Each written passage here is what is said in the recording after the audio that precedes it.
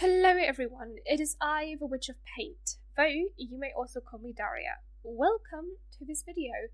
Today I'm going to paint a fairy house based on this little fairy godmother's house that my family and I found on one of our little outings.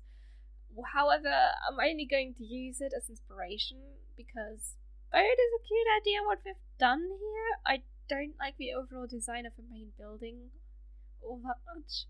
It doesn't look like a house and doesn't give me many fairy vibes. It's just a white box. That's that's the vibe it's giving me. It's just a white box in the woods.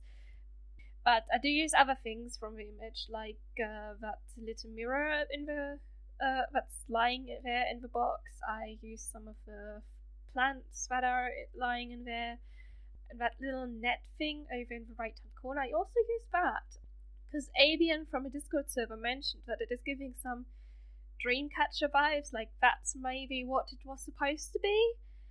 So I'm gonna be doing something with that, and I've also noticed that there's some coins down uh, lying around inside and outside the box. So I'll probably use some of those for something.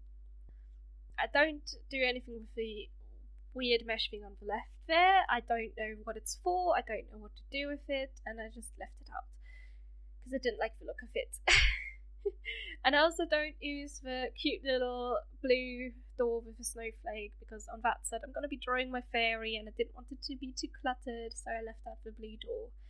Very cute door though. I like the I like the blue door. Uh, anyway, let's get started with the sketch. You can see that I did keep the sort of rectangular shape of the house. That is where the similarities end though, as I decided to add a big flower as the roof. Just felt like, you know, that would give it more more of a fairy-esque feel. The windows are oval shaped like the mirror that's chilling in that bottom left corner in the original building. Um, I'm also gonna make the colour of the mirror, like the yellow outline. I kind of like that. I thought it would fit, you know, to make it a little bit more colourful. and uh, as I mentioned before, there were the coins, and I'm going to be using those for a little path in front of the house. But I was wondering what the purpose of the coins was. And I looked it up, and oh my gosh, we're about to uh, digress real quick into the sort of places where fairies live and dwell and appear. so allow me to tell you what I found exactly. Fairy doors or houses are put up with the main goal, of course, to attract fairies. They are obviously going to be small, because fairies are about the size of your index finger. Usually, to make the fairies feel comfortable, these houses are made from sticks and leaves or whatever else you may already find on the floor of your garden or the forest. Um, you might have noticed that the fairy house that I that is in the picture, like not the one I'm painting, but the picture that I'm using as a reference, that is not made of wood or leaves or anything. It's uh, my mum thinks it's probably styrofoam. I didn't touch it because it was a wet day and uh, didn't want to get wet hands, but it did kind of look like styrofoam, and that's not going to be very good for the environment or the fairies. So, uh, I don't know, seems like they didn't put much thought into it there, but uh, maybe they just used whatever they had. I don't know. I'm going to give them the benefit of the doubt here. In either case, once the house was built, you may put like little shiny rocks around them to attract the winged little fellas um, which explains the coins around the styrofoam house. They are there to attract the fairies. Um, I don't know what fairies would do with little cent pieces, but I'm sure they have some use for them. I don't know. I'm not a fairy. I'm not an expert on what fairies do with human coins. uh, maybe they make chairs out of them. Who knows?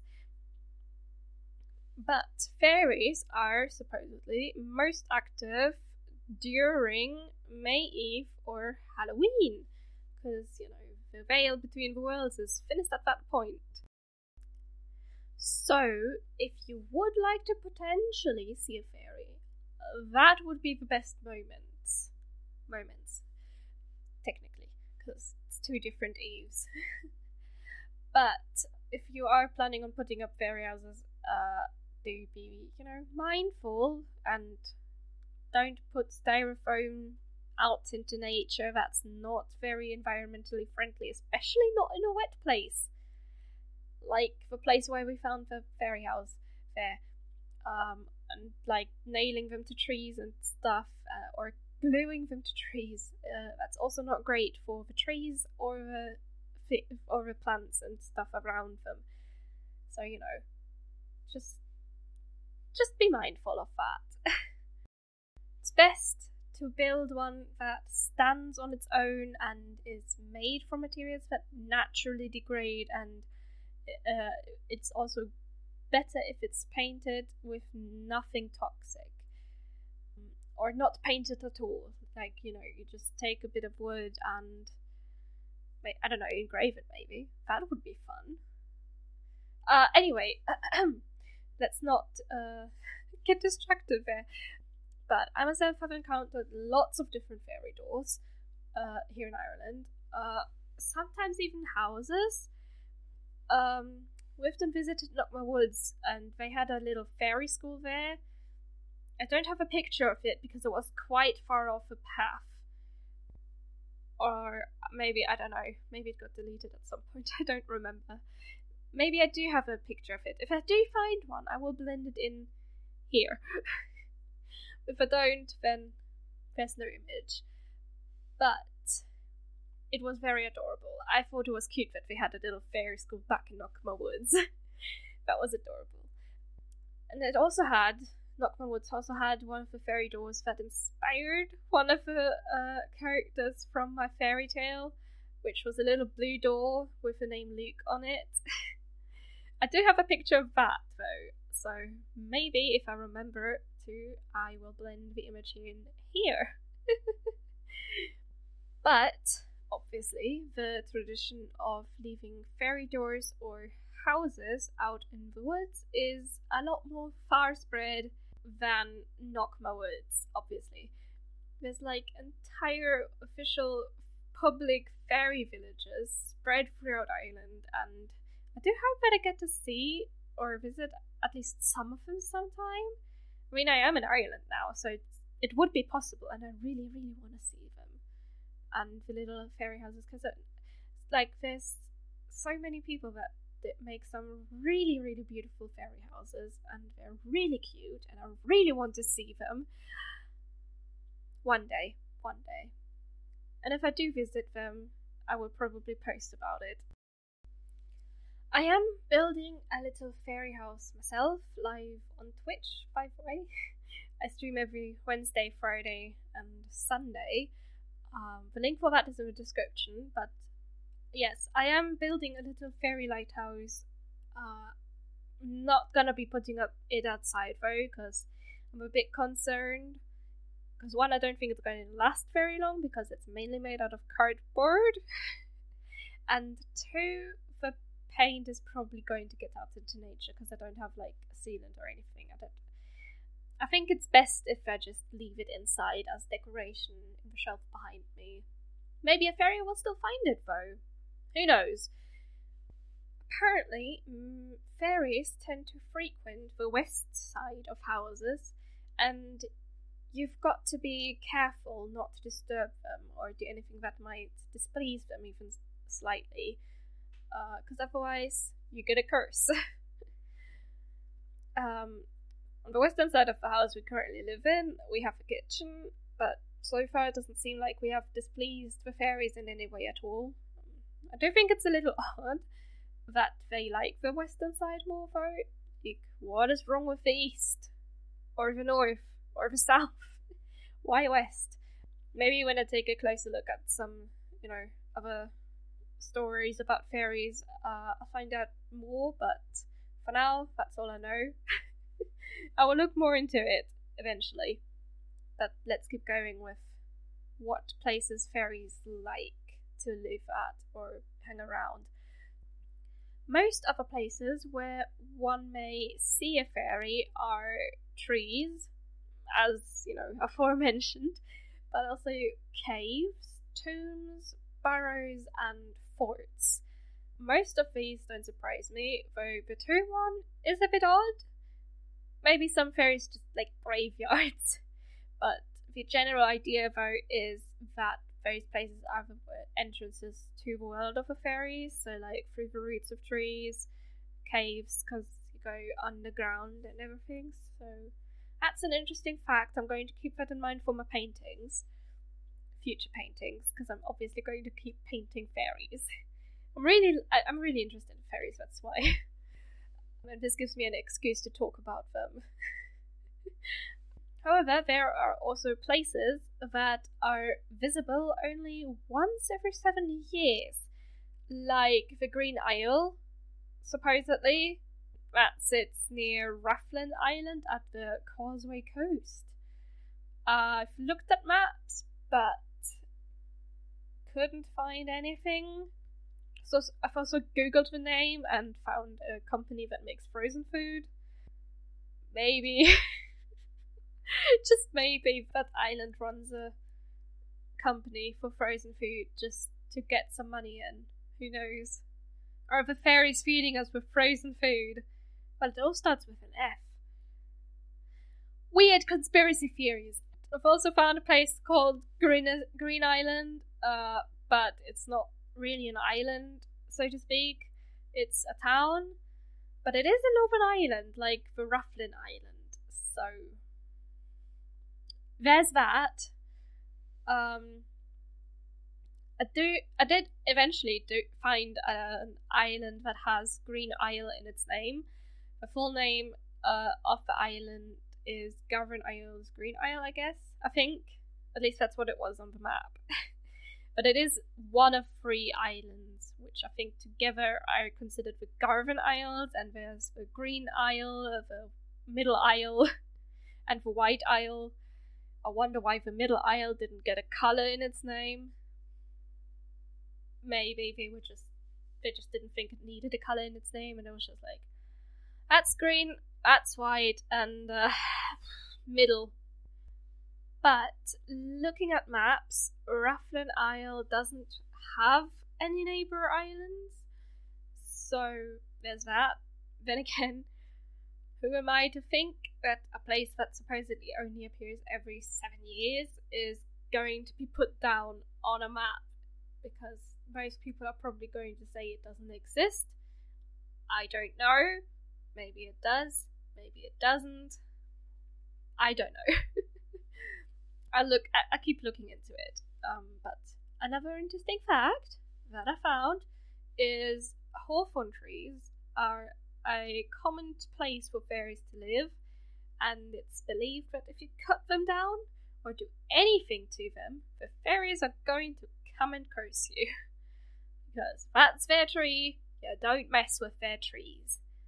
That's a rule. Don't mess with the hawthorn trees. But then there is also like people who put little rags or other things on the hawthorn trees as gifts to the fairies so that they might get good luck or maybe someone who's sick gets healed magically by the fairies. I think it's cute. it's a cute idea. I like it. and I thought I should talk about that a bit. Alright, now, let's talk about fairy forts, because I have been to a fairy fort. Knockma Woods, as I've mentioned before. I think that was a fairy fort or supposed to be, or used to be at least. The idea basically is that the ruins that are there are explained by fairies used to live there, but now they don't. There was a whole thing with war, a war there in one of the articles. I'm gonna have to find the story at some point. That's the idea of it. But fairies used to live in those places where there's ruins and Knockma once even had a gravestone on top with a cross, a big cross. Um, and we did manage to get up to that point at some point. We never managed to reach the peak, though, I think. That might have been a little bit higher, but we did find a gravestone. Interesting find, I know. you know, the ruins that do have some magical feel to them. So I can understand people who believe that these are places where fairies like to hang around or where they used to live. Yeah, like I've said, we've strayed quite far from the original topic of fairy houses, but I think the idea of fairy forts, like having an entire fort for these little fairies, I think it's it's it's adorable. I love it. It's cool. It's really cool. and I wanted to talk about it, and I'm probably going to have to look into it more because it's such a cool thing. anyway, I'm going to keep looking into fairies, fairies, and what they are, little legends around them, maybe. So that in the next videos that I do with uh, speed paints about fairies, I've got loads of other stuff to talk about because fairies are probably a very broad topic. There's probably lots of le- legends around them, and I am in Ireland now, so I can ask people what they think and maybe write some of those down. And I'm, hmm, I'm excited. I'm excited to keep going with this. Obviously, not going to do just fairies, but it is a topic I'm interested in at the moment. So I'm going to be doing that and there's nothing anyone can do about it. I'm going to be doing lots of fairy stuff, and probably some other creatures as well, because you know leprechauns are also a thing in Ireland, and maybe I'll do something with that. Those little fellas that leave a gold at the end of the rainbow. anyway, I have talked so much about fairy houses that I have barely talked about the painting I am making you can see that it gave the house a wooden look because obviously the house would be made from things around the area, so sticks, leaves, and the flower for the roof as uh, as well. I struggled a bit with the color of the flower, um, as you might have been able to tell, but I think in the end it turned out quite well. So, you know, I just had to keep going. I, I, I couldn't give up.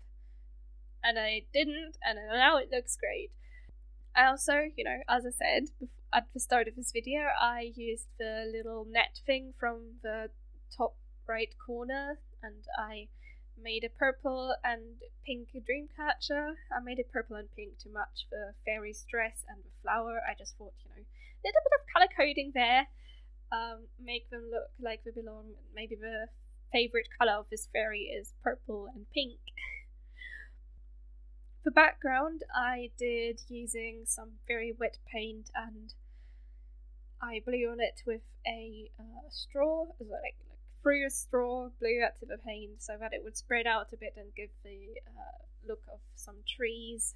I really like the way that it looks when you blow on paint like that. I did have some hiccups where it got onto the dreamcatcher or something, but it, it looked quite well and I fixed everything. So, you know, there's a few little things I didn't do in the video itself. Um, like I forgot to shade the uh, stem of the flower there, but I did do that after the fact. Just so you know. But anyway, we're done now, so let's take off the tape and take a look at the final result. I really love how this turned out. Um, the flower on top of the house, the house itself, that little door that leads to I don't know, probably a cellar or a basement or something. Maybe the storage room of a fairy where it keeps all of the other offerings that it gets. Maybe the, it keeps the little wishes for the hu- from the humans there. I don't know, maybe something like that. But yeah, I hope I, I hope you like it as much as I do. I think it turned out really pretty that's it for this video. I hope you enjoyed it and the little fairy fun facts that I put in here. Make sure to subscribe, like, comment, and check my, out my social links in the description if you like this video. And I hope you have a lovely day. I'll see you all next week. Bye!